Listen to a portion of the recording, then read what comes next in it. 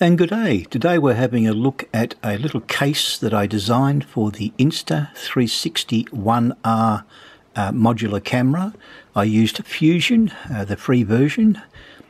The design itself took me quite a while. There are quite a few mistakes I made early on. The final um, STL file, which is the one I'll be using for this video, works absolutely perfect. And here's my print, the, the one I've designed, straight off the printer. Still got the brim and bits and pieces all attached, so we'll pull all them off. Uh, this is all the supports. There's uh, support in there. Get that out.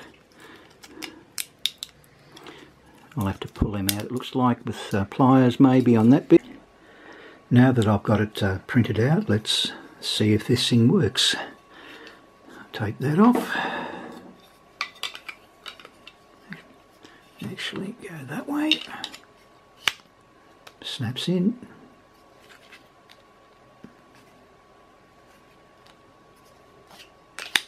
Nice and tight, not a problem. Doesn't fit that way. Okay, we can fit the cover over that. The, the lens guard will still fit over, which is good. I've now fitted the 4K mod and we'll test it to see whether it'll work in this uh, little case itself with the lens guard on. And as you can see it snaps in nicely not a problem. Comes off back on again. Beautiful. I've now got the one inch mod.